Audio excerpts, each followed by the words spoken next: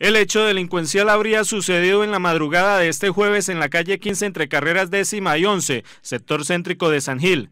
Violentando una ventana, un hombre habría ingresado a un establecimiento comercial y allí procedió a hurtar algunos elementos. No bastando eso, dañó el cielo raso del lugar, haciendo un hueco en él, comunicando con otro local, al cual también entró y robó varias cosas, avaluadas en aproximadamente 4 millones de pesos. Pues verificando esta mañana que llegamos a abrir el negocio, eh, resulta que habían violentado la puerta y se llevaron un poco de cosas los ladrones. Droga veterinaria, unos insumos. Eh, unas plantas eléctricas. Según información suministrada por el comandante encargado de la estación de policía de San Gil, gracias a la investigación adelantada a través de videos de cámaras de seguridad, se logró identificar al presunto autor del hurto, el cual al parecer estaría pagando una pena por otro delito. Lo inaudito es que esta persona tendría medida de aseguramiento domiciliaria. Ya logramos a través de las cámaras que se encuentran sobre el sector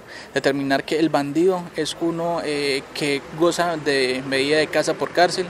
Pues obviamente allí ya se van a iniciar unas actividades investigativas, eh, lógicamente para que este delincuente sea nuevamente puesto a recaudo de la autoridad judicial competente. Igualmente, igualmente, pues obviamente como también goza de la medida intramural, obviamente se le van a pasar los respectivos informes al IMPEC para que sobre este bandido tomen las medidas a que haya lugar y de esa forma le revoquen esa medida eh, que tenía eh, a su favor.